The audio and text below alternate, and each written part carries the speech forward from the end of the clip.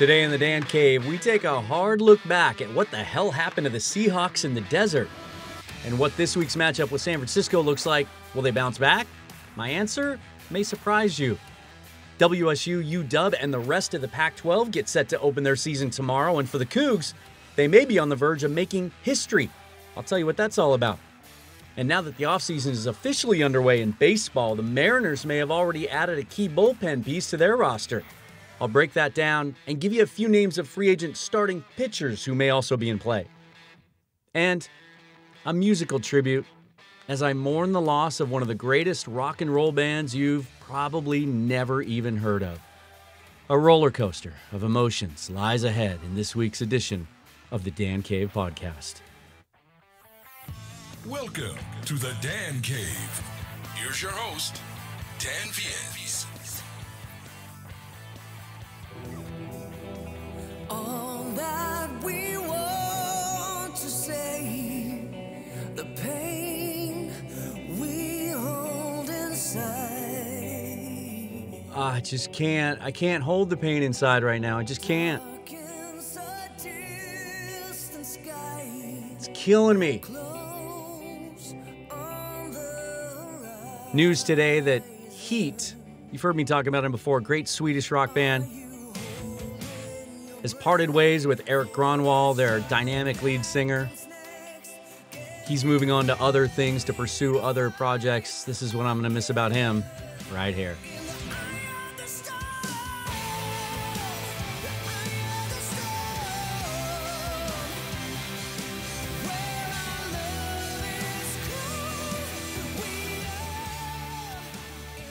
Uh, if you're into that sort of thing, if you um, are around my age or you grew up listening to, you know, really melodic hard rock in the 80s and 90s, um, these guys do it as well as any of the elite bands of that era. Um, they do it overseas. They've never toured the, the U.S. I discovered these guys about five or six years ago, right after Gronwall joined the band. They had a couple albums under their belt with with another singer, and I didn't care for him. Uh, but this guy was amazing. They've done four records. Um, at least we have that material, but not sure what he's moving on to, what genre, what style. Um, but I'm gonna miss these guys. I had always hoped that they would tour the states because they are, and and him in particular, he in particular, just extremely dynamic live, um, and the voice, that range, and he pulls it off live too. This kind of stuff.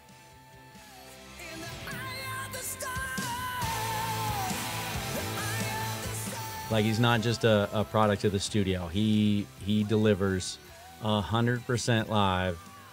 Um. Anyway, thanks for uh, humoring me on that. let's get let's get uh, let's get on to other things here. Um, namely, uh, sports. Welcome back, episode 102 of the Dan Cave podcast, and it's Friday as I record this. I wanted to do an episode Monday. I wanted to jump right on this, but I couldn't. It it doesn't happen very often anymore, um, as much as it used to. You know, when when I was younger, I really really held my emotions on my sleeve and every single game whether even even in seasons when the Seahawks weren't expected to do anything and and even at best might have been able to to finish around 8 and 8 I kind of lived and died with every single game, win or loss. And the losses always hurt me, even when there there was no reasonable expectation they were going to win that game. Um, as I've gotten older and matured, and there's other things in life, and and and you realize kind of what's important and what's not, and and you put things in perspective. Those really, really emotionally hard losses to deal with are fewer and far in between. They're usually postseason games. Um, you know, obviously Super Bowl 49 uh, was one. Um, but, e- but even last year, like the final regular season game against the, the 49ers coming up an inch away from having a higher playoff seeding, uh, the Green Bay game, and and feeling like that game was could have been in our grasp. Um, you know, those take a little while to get over. But Sunday's loss was one of those. It was really tough to take. I was really emotional. I was upset. And and because it was a Sunday night game, I didn't have any time after it ended to really process it. And so I I'm not kidding when I say this. I had trouble sleeping Sunday night. tossed and turned, and then I slept on my neck wrong. I mean, it was just brutal. Um, and so I bounced back Tuesday night and slept in later than I've slept in in a very long time. Here's why that loss was so tough to take. And for me, this was the toughest loss as far as when you put it into context. Toughest loss, I think, since they lost to the Chargers at home in week eight, 2018, um, 25 17. Really tough to take. And here's why. One, because of how important the game was. There were some other kind of subheadings and, and more minor storylines, not the least of which was, you know, you have the new kid on the block, you have this Arizona team that's that's rebuilt and they're feeling good about themselves and they're the team on the rise and they're trying to knock off the big boy. I thought it was important to show them that their time hasn't come yet and that this could be a special season for the Seahawks and they were going to, you know, send a message. But even more so than that, just just what it meant in terms of the NFC West race but also because, and I think this was the biggest thing, the problems that led to the loss, caused the loss, I'm not sure how fixable they are. You know me, I'm an optimist. I'm the glass half full, silver lining, always looking at best case scenario. When people ask me at, work, you know, what do you, what do you think of this week's game? I, do you think the Seahawks are going to win? I always say yes. I'm not sure right now as I sit here talking to you how fixable the issues are. First of all, I want to get this out of the way.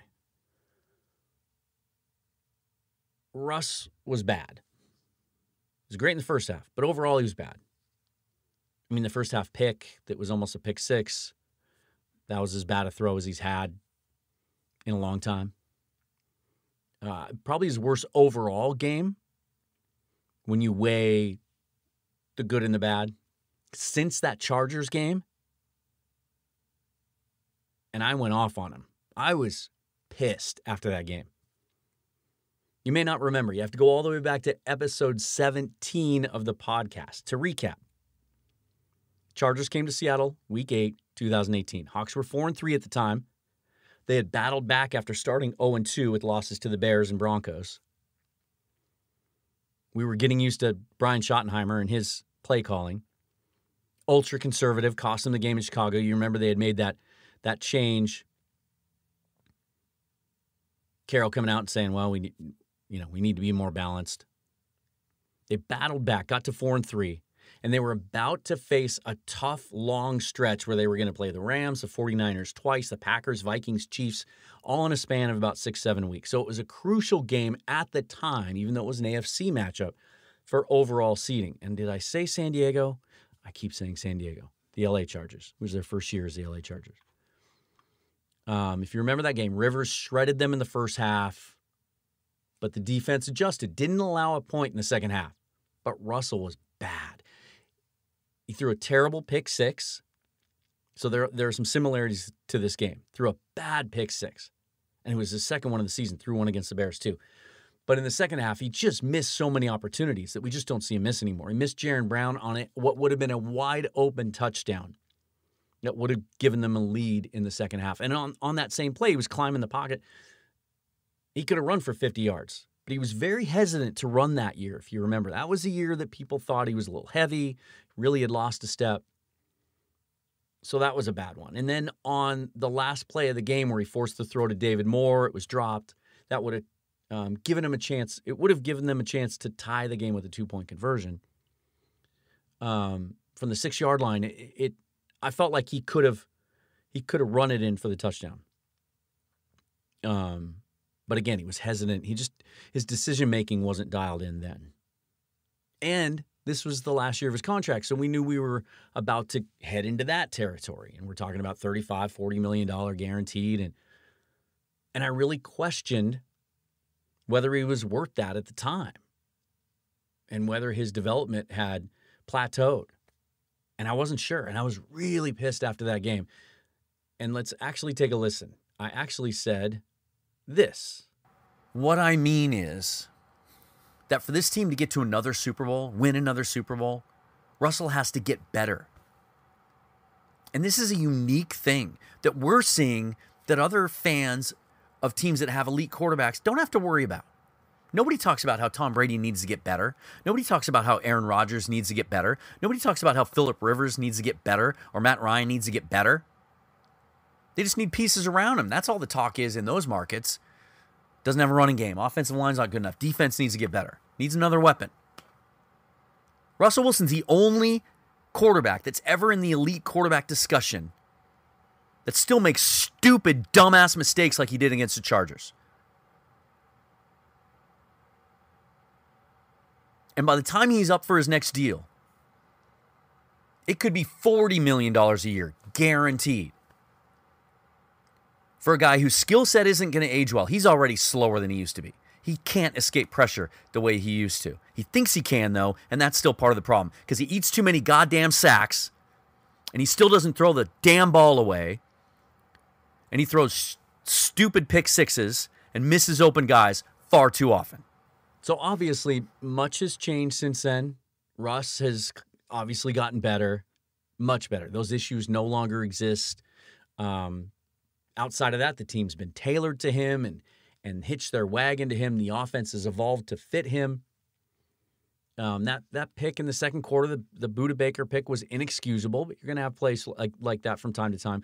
And the the the last two picks, I really don't necessarily put on him. He was trying to overcome a horrific defensive performance. So I, I just wanted to make that clear that I think Russell is beyond the point where we need to be worried about a bad game. This one is on the coaching staff, plain and simple. And specifically, I mean Pete Carroll and Ken Norton Jr. I don't know, and I don't know if we'll ever know how much Pete Carroll is involved these days in the game planning on defense and the play calling during the game. I had always assumed, and I've said it on this show, hey, people are being hard on Ken Norton. They're saying he should be fired, this and that. Hey, this is Pete Carroll's defense. I used to say that when Kris Richard was the defensive coordinator as well. I'm not so sure anymore. I don't know. But regardless, if he's if he's ceded control to Nor- to Norton, then it's on him as well. But he also, we know this, is very involved in not the the play in, play out selection and, and calling of offensive plays, but we know how involved he can get in telling Brian Schottenheimer what he wants to do in any given moment. The game plan was bad. And and this is what gets me. One thing that separated these two teams is late in the game when the Cardinals recognized that the Seahawks had lost their top 3 running backs. Carson was out. Carlos Hyde, we didn't know at the time, but he was battling a, a bad hamstring. I'll touch a little bit more on that in a minute. And Travis Homer had exited the game. And one reason that Homer is in so often on third down is because he's really great at blitz pickup and pass protection. And so all that was left was DJ Dallas. And that's an area he really struggles in. And you could tell. And as soon as the Cardinals saw that, it was like a shark sensing blood in the water. They adjusted. And they had adjusted late in the in the second half anyway. Started changing up what they were doing. They started getting more aggressive with Budda Baker and moving him more to the line of scrimmage. But in particular, when they realized Dallas was the guy, they just went after him. I feel like the game plan that Carroll and Norton put together for the Cardinals paid way too much respect to Kyler Murray. That because they were afraid of his ability to scramble, they played an extremely conservative game in the secondary, lots of zone coverage. I saw one person refer to it today as their they almost game planned as if they're scared of their own coverage ability. Especially once Shaquill Griffin went out of the game and we had to once again rely on Trey Flowers. and they used Shaquille Griff or Shaquem Griffin as a spy for Murray, which I asked him to do on the show. You heard me. So I was happy to see them do that. But the way that they, just the lack of man to man coverage and the lack of just changing things up, they don't ever disguise anything. Once Arizona figured out what they were doing, they could adjust offensively to it because they knew the Seahawks weren't going to then adjust again. They just don't seem to do that. There was very little blitzing because they were afraid of Murray sneaking away and breaking off a long run. Never mind the fact he has he does have some accuracy issues, has been prone to, to make some bad decisions throwing the football, but they never even tried to force him into tough situations like that. No variety, no surprise. They're just predictable. I'm wondering if we're reaching a time where Pete Carroll doesn't get the benefit of the doubt anymore. Doesn't get that defensive genius label anymore. We heard all the time back in 12, 13, 14 how basic the Seahawks defense was. But you can succeed with a basic scheme when you have elite players all over the field. When you have three or your four secondary positions manned by future Hall of Famers, a Hall of Fame middle linebacker, Pro Bowl, all pro level players all along the defensive line, and deep. I mean, Michael Bennett and Cliff Avril were basically coming off the bench that year. So you could get away with it. What we've seen since then is them trying to force players into those same positions and play the same scheme. They asked Tedric Thompson to play like Earl Thomas. They're expecting Shaquill Griffin to be able to cover in man to man like Richard Sherman. And their inability to recognize when someone like Trey Flowers just flat out cannot cover NFL receivers, but yet we're we're okay heading into this season, even though they went out and got Quinton Dunbar, and that was a good move to upgrade that position. They knew that Flowers was going to have to play a key role as the third corner. Should have upgraded that. But I but I I don't want to get away from my conversation about scheme. When you're shorthanded, when you're outmanned, you're missing some guys. You have to make up for that with some creativity. And I just didn't see any of that. Didn't see any of that. And that manifested itself on offense as well. Because they still could have won that game. They still should have won that game. This that I'm about to touch on is what bothers me the most.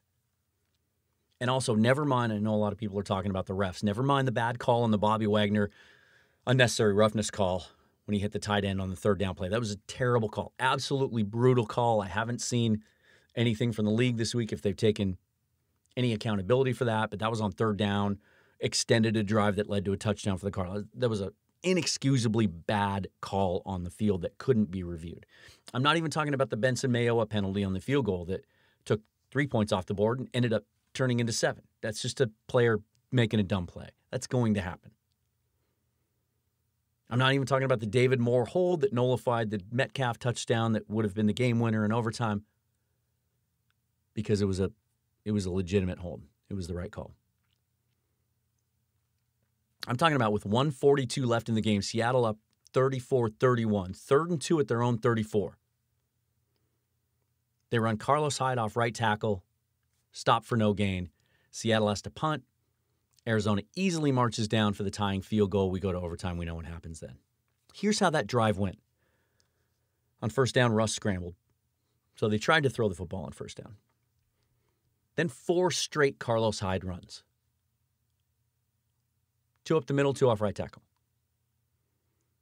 None of them over your best player, Duane Brown at left tackle. And, and we're talking about a Cardinals team that not only had lost Chandler Jones,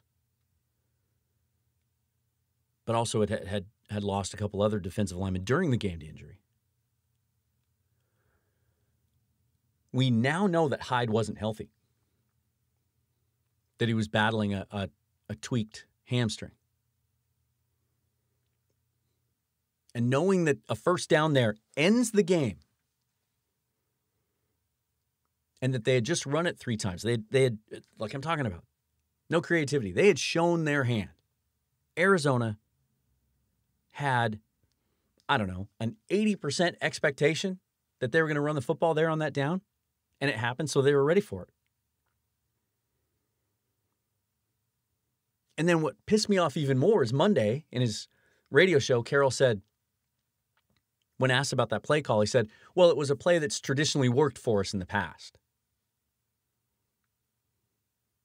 When I hear that, you know, you know what that means to me? It means Arizona knew that. It means they'd scouted it, seen it. That was the ball game right there. Because we all knew, I, I'm sure you did. Looked around at the people you're watching the game with. We're not going to win this game. Kyler's going to right down the field. I'm, I'm surprised we held him to a field goal. I thought they were going to score and end it. You put the ball in your best player's hands. Russ has shown more of a willingness lately to run the football.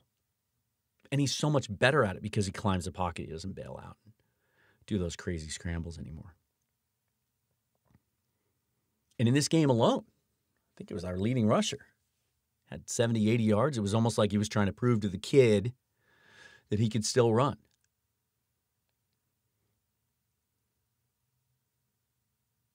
If you throw the football there and you look for something quick, and they had used all three tight ends in that game, I think Hollister, Dissly, and Olsen all had catches. They'd be good quick outlets. Dallas catches the ball well out of the backfield. You run something quick when you know they're bringing the house, or Russell could could scramble, get him on the edge maybe. Built your entire team around this guy, and then when it's crunch time of a, an excre- extreme, I was I was thinking excruciating in my head, but but I was trying to say extremely, uh, an excruciatingly important game in an extremely important moment. The player that you've built your entire team around, and you put the ball in the hands of your backup running back who's playing on one leg. It's I mean, they, they've committed to him so much. They essentially sacrificed the quality of their defense. They chose to spend $7 million on Greg Olsen this offseason to give Wilson another weapon instead of addressing some glaring needs on defense that we pounded the table about all offseason. So you, then that puts you in these situations more often. It becomes a self fulfilling prophecy.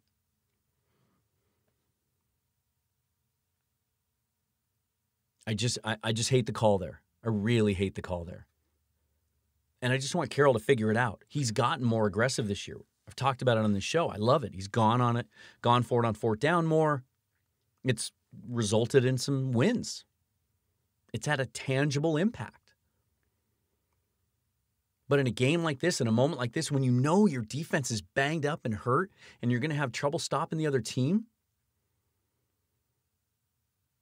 I would have been able to sleep a lot better Sunday night if on that exact same play they had called for a pass play and Russell couldn't find anyone open, tried to run, got stopped, or pass protection broke down because Cardinals brought an all out blitz and Russ couldn't get rid of the ball quick enough. I'd have been able to sleep better because that was our best chance to win right there. If it had been a healthy Chris Carson in the backfield in that situation, maybe it's a different situation. I'm not saying shouldn't have run there. Throwing the football was the only answer. Running the football there with Carlos Hyde on a bad hamstring after three straight Carlos Hyde runs was the wrong call. So that's what pissed me off. And now, now the Seahawks limp literally into a game against a 49er team who's pulled themselves up off the mat since that terrible game against the Dolphins a couple of weeks ago. Now they're feeling good about themselves. And we don't have the help of home field. No fans in the stands, so we don't get that usual slight advantage that we get in an important game like this. Doesn't sound like Shaquill Griffin's going to play, so Trey Flowers is going to be on the field again. And Quinton Dunbar is still not 100% healthy. They're they're managing that knee. There's more to that than we care to know. He didn't practice at all on Wednesday, and they limited him Thursday. Jamal Adams isn't going to play again. Ugo Amadi might not play. Ryan Neal, who's played so well in Jamal Adams' stead, limited in practice this week. Benson Mayowa hasn't practiced at all. He might not play. And we're not getting pressure even with Benson May- Mayowa. He's been terrible. 49ers also banged up on defense, but a very, very good offensive line. They've been running the ball well, but they're down to their fourth and fifth running backs.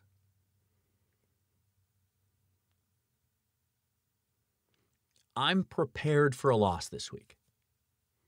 It's rare when I take that mindset, but I am prepared for a Seahawks loss. Easier said than done on Friday. I may be just as mad Sunday, depending on how uh, how we arrive at that loss if it happens. Again, it's rare when I feel this way, but it's hard not to feel that way, and so I want to get you ready as well because it just doesn't seem like a great matchup on paper. You know, unless unless Russell goes out there and and puts 45 points on the board. Because this defense is still just going to be really shorthanded. And when you add that to the fact that I just don't like the way they're calling games, it's tough. It's going to be tough to overcome, at least for now. Hope is on the horizon. So, to get you ready, as I said, if the Seahawks were to lose this week, the NFC West is just a mad, mad dash. The Seahawks would drop to 5 and 2, the 49ers would improve to 5 and 3. The Rams play the Dolphins to a Tagovailoa's first ever start. So let's assume that they win to move to 6 and 2. So they'd be in first place now. The Rams, who we kind of wrote off a couple of weeks ago, Cardinals are, are on a bye, so they'd be five and two. So every team in the division would have two or three losses and five or six wins. Talk about a mad dash, right? And the advantage that could have been gained. That's why that game was so important. If you just convert on that play, come away from that game with all the same injuries. Side note, I would have won my fantasy game also, but that's beside the point. You would have had that one game lead even if you dropped the game this week because you're so banged up. It was a huge loss. Huge loss. We may be looking back on that one later and really, really lamenting it. It could be a difference maker. Um, now, back to the optimism side of things. Can they overcome it? Sure. You know, you find a way to beat the 49ers on Sunday. You know, like I said, they're they're banged up on offense too. That offensive line is great and and or, or I don't know about great. They're very, very good. And I don't think we're gonna be able to get any pressure on Garoppolo and Shanahan's a master at kind of manipulating things side to side. And it would have to be a shootout. And Russell will have to bounce back and be great. And and that's very likely to happen at this stage of his career, the Russell Wilson that exists and lives and breathes in 2020, I don't expect to have two bad games again. I expect him to be very, very good on Sunday. And another area he's gotten better in, he really wore that loss. He put it on himself, even though I think he's wrong. He didn't always do that early in his career he didn't blame anyone else. He just kind of deflected blame in this very subtle way. He's really grown up in a lot of ways. So I expect him to be great on Sunday. Will it be enough? It could be. Because win that game and then everything changes. Now they're back to having it be a what a half game lead, I guess, over the Rams who haven't had their bye yet. I expect to see him on fire on Sunday. But for me, and, and another reason that I'm kind of trying to prepare myself and, and assuming this as a loss on Sunday, it still puts them in better position than they've been in the last three, four years. Where week seven or eight, they're a game or two or three games behind the leader trying to catch up in the division. So I guess you could make the argument they could afford a bad loss. They were going to take one eventually. But I see, for me, the real season for Seattle, barring any other major injuries that happen this Sunday, that's always a factor. But it really starts the following week. Not because it's in Buffalo, which is an interesting matchup in its own right, but because that may be the first time that we get the defense back to being whole, or as whole as they can be now. Obviously, Blair and Irvin, some of those guys lost for the season. Assuming that Jamal Adams can get back next week. He was supposed to practice on Wednesday, didn't, and then they added illness to his designation. He's not on the COVID 19 list, but just wasn't ready. I'd rather wait an extra game or two and get him back 100%. So, assuming he comes back for Buffalo and that we would get Shaquill Griffin back out of concussion protocol also. Seahawks made a big move this week and they added Carlos Dunlap. I didn't see this coming because they just don't have any draft capital. I didn't realize how cheap Dunlap would come. Seahawks were able to turn BJ Finney and his seventh round pick into Carlos Dunlap. Y'all should be familiar with Dunlap at this point in his career. 11 years in Cincinnati, 82 and a half sacks. He was he's been remarkably consistent since 2013, no fewer than seven and a half sacks. If you look at his stat line year by year, it's seven and a half, eight, nine, eight, seven, nine. He had his high of 13 and a half in 2015. Only one this year fell out of favor with the coaching staff. Snap counts the last couple of weeks have been extremely low. But the last two years combined, even as a 30 year old player, 17 sacks, 24 quarterback knockdowns, and 28 quarterback hurries.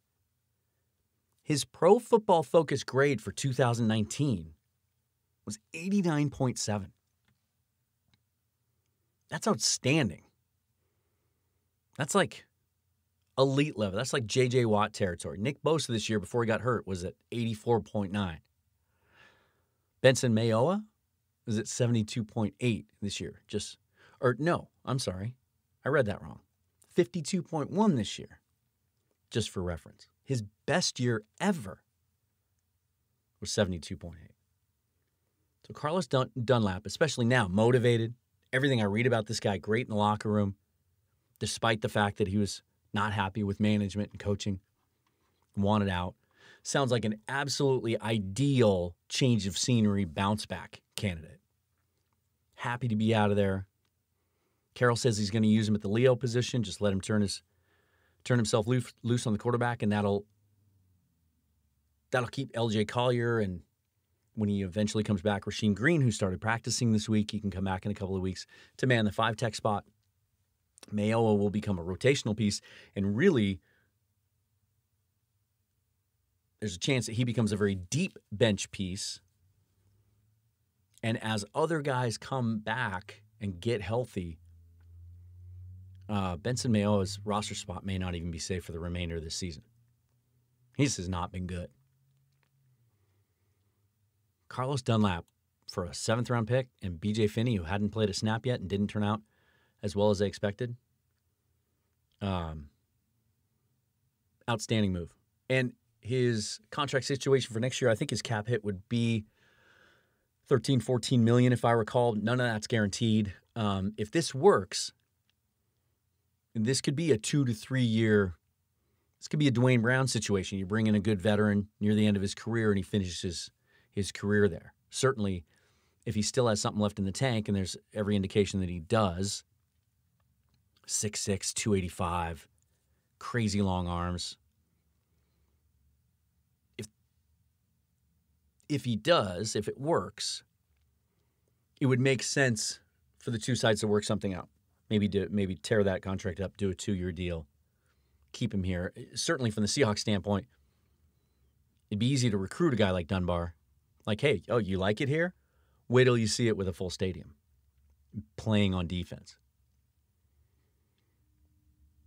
So this could be more than just a stopgap, half year or two thirds of a year rental. Potentially a really, really great move. Something that had to happen. If they hadn't made any move before the trade deadline, which is next week, I I would think I would drop my expectations of this team from a 12 to 13 win team down to down to maybe a 10 win team. That's how bad the defense has been. And I held out hope. You, you heard me on the show being optimistic, but man, a lot of that went by the wayside for me on Sunday in Arizona.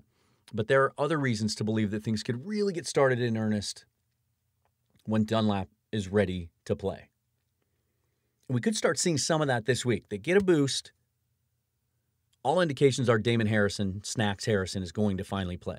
Been with the team for three weeks now. They haven't officially elevated him from the practice squad. That's expected to happen. Against a team like the 49ers that loves to set things up by running the football, that could really be a boost. So you start to look ahead to what this defense could be when you add Dunlap to it.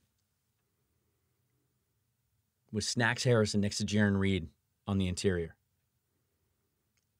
LJ Collier, who I think in his second year has really been one of the bright spots and really improved. And, and I think we, we're, we all should be feeling better about what we're seeing from him.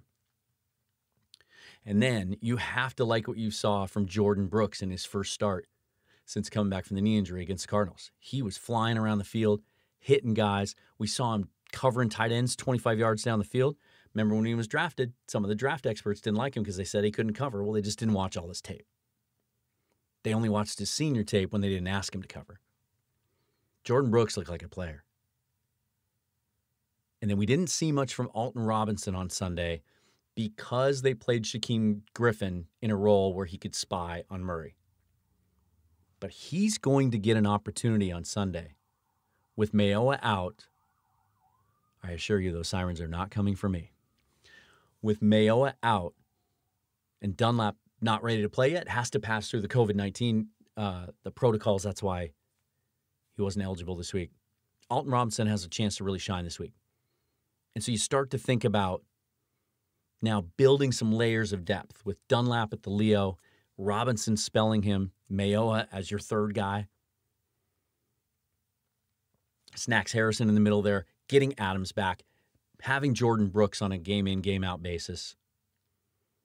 Now you start to think, okay, as long as Trey Flowers doesn't have to see the field very often, maybe this defense can be just good enough to help the offense win some games. I'll say this though. I hope the Seahawks aren't done. Couple days left until the, the real trade deadline. Even though, you know, if they make a deal before the deadline, that player wouldn't be able to play until the following week. Um, there's rumors out there of guys being available. Takk McKinley of Atlanta. I I think as a former first round pick, as a kind of a resurrection candidate, uh, he would normally make sense. I don't know if they have the draft capital capital to do it without a third. Uh, Ryan Kerrigan, you might be able to get for a fifth, but are you going to are you going to sacrifice your entire draft next year? It'd be challenging with the money and with compensation, but if there's a way to make one more move like that, make it happen. Or how about a corner? And then finally, what's uh, I don't know, what's the deal with Clay Matthews? I thought when Irvin got hurt, they had met with him. He has the history with Pete Carroll. He was effective last year as a rotational piece for the Rams. I think he had seven or eight sacks, still had something left in the tank.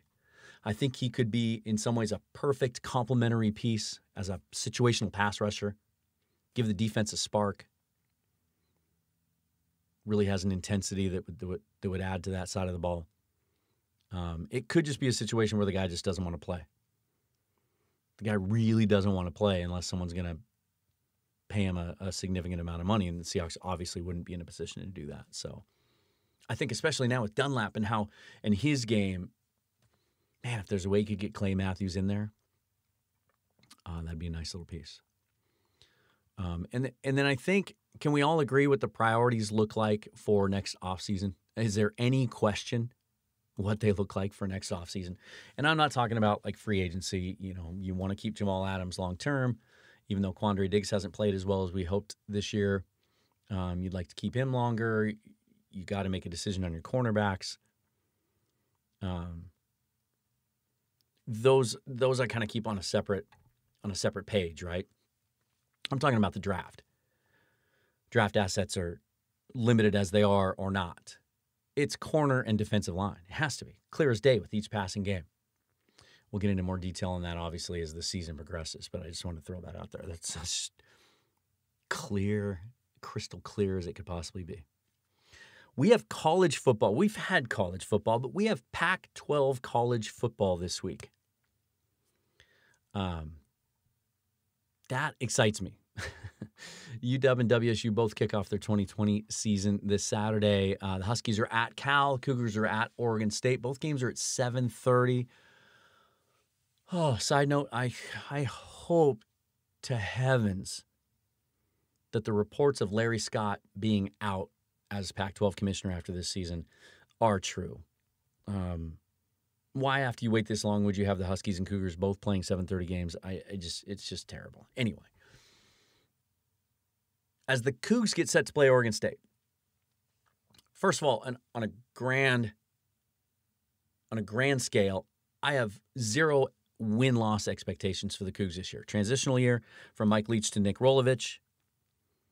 Whole new schemes, whole new techniques. I was reading the other day about how the offensive line has had to completely relearn their sets and their and their combo blocking because it, you know the air raid wide splits they've played with and and had drilled into them in the last couple of years. Those are gone. So just a lot of transition. So I'm not expecting anything win loss wise. I just want to see how the schemes work and how the young players progress. They're going to be playing a lot of freshmen.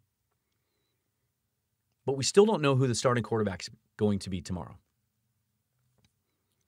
I told you a couple of weeks ago that I, I hoped it wasn't Jayden de Laura, the six foot, 175 uh, five pound, four star recruit, true freshmen from Hawaii. But he just may be the guy, and I may have been wrong the more I think about it. Uh, it's it it essentially is pretty obvious. It seems that it's down to he and Cammon Cooper, the four-star recruit out of Utah a couple years ago that we expected to be the starting quarterback two years ago as a freshman. Heard great things about him, and then a guy named Gardner Minshew came in as a transfer and took the job and ran with it. And then the next year, Anthony Gordon rightly won the job, had a great season. Uh, Cooper has struggled. He was Cougs have had two scrimmages. Cooper was okay in the first scrimmage. He was terrible on Saturday in the second scrimmage. Threw two pick sixes. de Laura was the better player in both scrimmages. 10 out of 14 for 133 yards, including a 55 yard touchdown pass, and ran for a touchdown in the first scrimmage. In the second scrimmage, 10 out of 13 for only 49 yards, so he was definitely dinking and dunking. But over the two scrimmages, a 71% completion percentage, and he added another rushing touchdown. Even Max Borghi, their star running back, said on the record he has played the best of the quarterbacks. Gunner Cruz seems to be a distant third. Familiarity with the offense may give him an edge. He played in the run and shoot in high school. Rolovich recruited him to Hawaii for that reason. He's familiar with the scheme for Cooper and Cruz. This is a massive scheme change. You always heard about the air raid, how simplistic it was, how there wasn't even a playbook, how there were just a couple of den, a couple of basic plays. They just ran them out of different formations to different sides. So the learning curve may really be kind of weighing down Cooper and Cruz. The reason I didn't want de Laura to start was I saw this as a transitional year that really didn't matter as far as the standings go. Just let, let's get ready for 2021. And so I wanted to preserve his red shirt and his eligibility. Um, I'm not so sure because he might be the type of dynamic talent that can really elevate a program and a new coaching staff. And so, why not use a season that really doesn't matter to get him ready for 2021. So that then maybe this team can really start to do something. It'll be interesting to see. Um, by all accounts, WSU has never started a true freshman quarterback, at least not in the opener. No one's been able to dig back through the records and find any case of that happening. Probably won't know until just before the game tomorrow, but we could be t- talking about uh, true freshman quarterback starting for Nick Rolovich and the Cougs um, next week. If that happens, I would expect uh, in the offseason either Cooper or Cruz, or maybe both, to enter the transfer portal. Um, but Rolovich also said that he expects to play more than one quarterback too. He did it last year at Hawaii, uh, even though Cole McDonald uh, ended up being drafted. He still, uh, I forget the name of the second guy, but he had four starts, and so he did go back and forth. He will have a quick hook, I think. We'll see. Uh, speaking of being competitive in 2021, let's talk about the Mariners to finish up. Um, World Series, Dodgers beat the Rays in six games. Uh, I was really pulling for the Rays.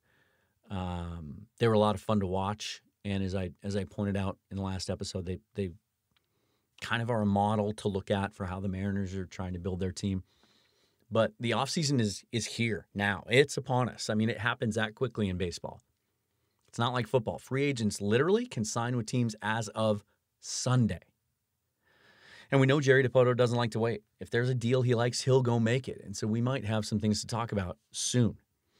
Um, although I think we all believe that this offseason is going to be more about some free agent signings instead of any big trades involving their young talent. I think I think you know, they want to go with their young group and see what they have. They've already made some decisions on the 40 man, clearing some spots there. I was a little frustrated to see Taylor Guilbeau lost uh, to waivers. I think the Rangers picked him up. But last week we talked about Kendall Graveman. This week, the Mariners made the move. First, they released him, and then they resigned him the next day. He loves the situation here. And furthermore, when I talked about him last week, I talked about him as as hey, Dipoto says he wants to add three to four established, really good bullpen arms this year because he thinks that's the difference in contending potentially and not. Well, this is the first piece. Kendall Graveman has a chance to be a really legitimate, important piece of that bullpen. I don't know if he's a closer. He may get a shot at it, but he'll pitch in high leverage situations. When he moved to the bullpen last year after the, he came back from the neck thing, his velocity ticked up. He was good. And he looked good in spurts even before the injury. But remember, he was coming back off missing a full season of Tommy John. This is a guy that was the opening day starter for the A's in back to back seasons before he hurt his elbow. And he comes in, it, it's basically he can make the same amount of money. It was a $3.5 million option. They declined it, waived him, signed him the next day. He can still make the 3.5. They just basically restructured it so it had a lower base and some incentives. But I get excited about this move, not just because I talked about it, but because of how excited Graveman is. He talked at length about how much he loves the situation here. He confirmed he will be moving permanently to the bullpen. He's going to change his training regimen. He's going to approach this offseason differently to make that transition and prepare to pitch in relief. I think this is a really good move to get a guy that could uh, really make an impact and also um, at, a reasonable cost. Um, and even Graveman said he, he echoed exactly what Dipoto ha- has said that he believes a good bull, bullpen can make this team a playoff contender. So what next? We've added one piece. What next? What about Brad Hand?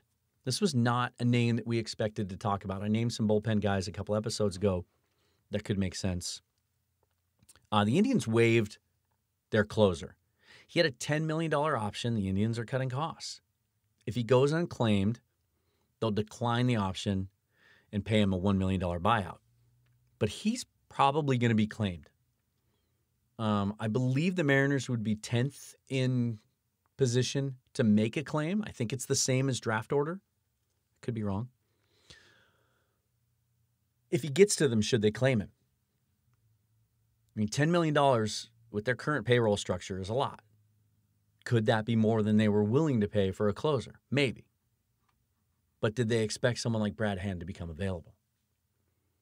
Probably not. With Graveman already in the fold, um, you know you've got one spot filled at a very reasonable cost. Hand could give them a guy they weren't expecting to be available, as I said, in his prime, still effective. He was outstanding again in 2020. And they could get that guy without giving up any talent, just money. And here's the important part to get a guy without having to bid against other teams. If there's an arm or two that they view out there as potentially their closer, they may have a dollar figure attached to that guy. But we don't know what the competition is going to be. That that price could be driven up. You could claim Brad Hand and know that it'll cost you $10 million. Um, it's it's interesting. And then if things don't work out, you're not in the race at the deadline, he'd be a prime trade candidate if he pitches well in the first half. Um, in 2020, a 1.35 FIP led the league with 16 saves. He had zero blown saves, um, 103 career saves since 2017, which is when he became a full time closer. So keep an eye on the Brad Hand situation. Should clear itself up by Monday or Tuesday, I would think. I think it only takes like 48 hours to get through waivers. I don't know how the weekend affects that. Um, so we should know soon. Um, I want to talk about starting pitchers, though, because I didn't think going into this offseason that the Mariners would be looking to add a starter. That rotation was really good, really promising, and you got to make room for Logan Gilbert this year. And um, some other guys kind of stepped up and established themselves. But it sounds like they may be in the market for an established veteran to add to that mix. They're not going to play at the top of the market, the Tanaka top of the market. But I, I wanted to throw some names out there at guys that might make sense, similar to what I did with the bullpen, that that come at a at a reasonable cost, but who may add something to the group that's already in place the first name I want to throw out there is Trevor Bauer. I think that's where a lot of people are going to go to because he has the local connections. Um, he's part of the Driveline group in Kent. Uh, I believe he even owns, I haven't been able to verify this, but Rick Rizzs said on the air when he was pitching against the Mariners uh, last year in a game that he owns a home in Maple Valley, um, that he at least lives in part time while he's doing work at Driveline. Um, he's very much into the, the analytical side of um, pitching development. And so he would seem to align with, with how the Mariners view pitching development as well. Uh, he has stated on the record that he only wants to sign one year deals from here on out so he can always pick his situation. Made 17 and a half million last year. Spotrac uh, puts his market value at 22 million. I don't know if the Mariners are ready to go there yet. If if they wanted to, though, he's coming off an outstanding 2020. 2019, he wasn't very good. But 2020, he was great. 100 strikeouts in 73 innings at 1.73 ERA. Um, a, I don't know if they're willing to go to $22 million on a starting pitcher right now. Maybe if he was the guy, if they knew, if they were coming off a year like they think 2021 is going to be, where they challenged for a playoff spot and, and some of the young guys developed exactly how they had hoped and they thought they were maybe a dynamic veteran starting pitcher away from a World Series, then maybe a move like this makes sense. But the other reason I don't think it makes sense is I don't know that you want his personality in your clubhouse right now. Because this this clubhouse, they've done such a good job of bringing all these young players together and and, and having a lot of the homegrown guys come up together. It's the first time we've seen this in a long, long time with the Mariners, where these guys have been able to establish a camaraderie and a family and a culture. And leaders have kind of been established or are in the process of being established. We haven't even seen what a Jarred Kelenic can do and what he can inject into this clubhouse. And everything we hear about him is Gym Rat, super intense, a little bit of Jay Buhner in him. Do you want to disrupt that with a really outspoken, strong minded, controversial veteran player? I don't know. Again, if the clubhouse is established, we're talking two or three years from now, you're on the verge of a World Series, one missing piece left. Maybe you can take a guy like that. I don't think he makes sense right now.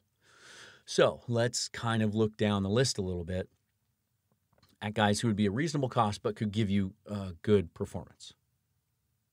And we'll start with Taijuan Walker. He could very well be back again. It was it was interesting when they traded him to Toronto.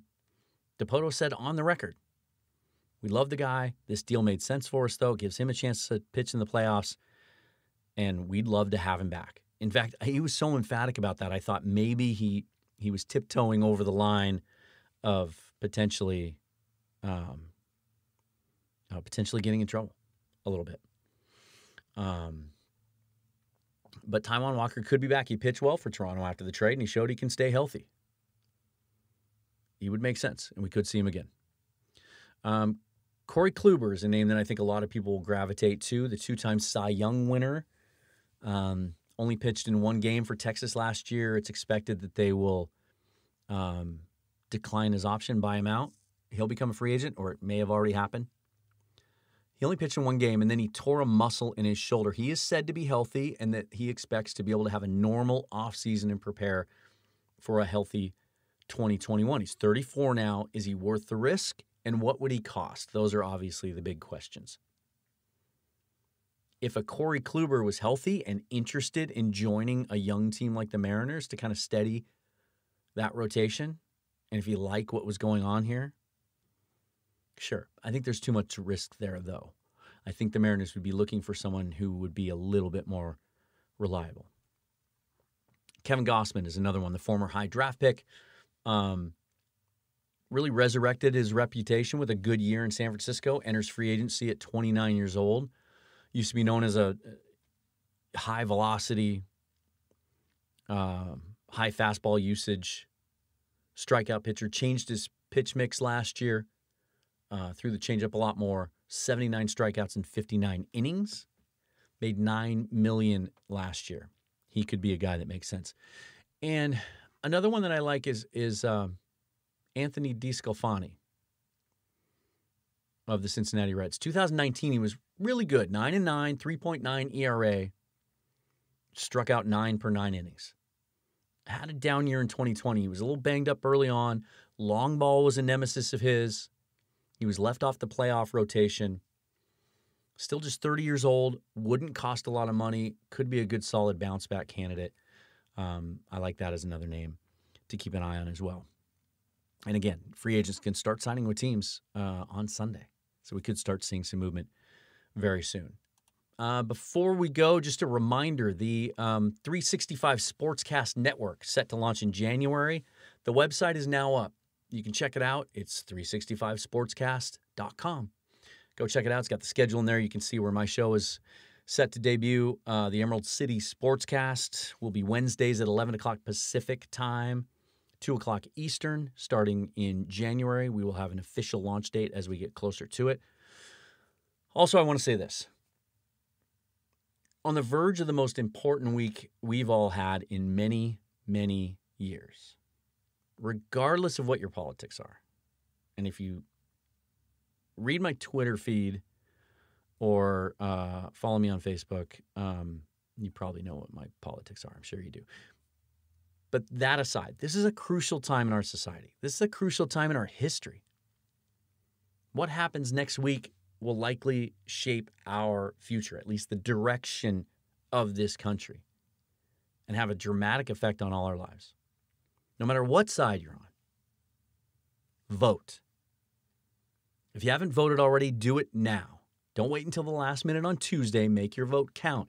I already we dropped ours off a week ago. I tracked them yesterday. They've been counted already. Make your vote count. The vote in 2016 was historically low, and this is the point I want to make. I just want to make sure, I just want everyone to vote so that no matter how it turns out, we can say that at least it represents what the country really wants. I'm not saying the opponent in 2016 was any better, but we don't know, we'll never know if it was truly what the country wanted because nobody voted. So get your vote in now. Do it. Next week, we take a full look at how the NFC West race shapes up. We break down the Seahawks 49ers battle. We look ahead to a really interesting week nine game in Buffalo. We'll have a Pac 12 uh, college football weekend to dissect. We'll look at how Nick Rolovich and Jimmy Lake fared in their respective debuts for the Cougs and Huskies. And we may have more Mariners moves to talk about as well as the offseason is now upon us. Follow me on Twitter at Seahawks Forever. You can email the show at the Dan Cave Show at gmail.com. Check out the 365sportscast.com website. And until next week, go Seahawks, go Mariners, and go Cougs. Thanks for listening.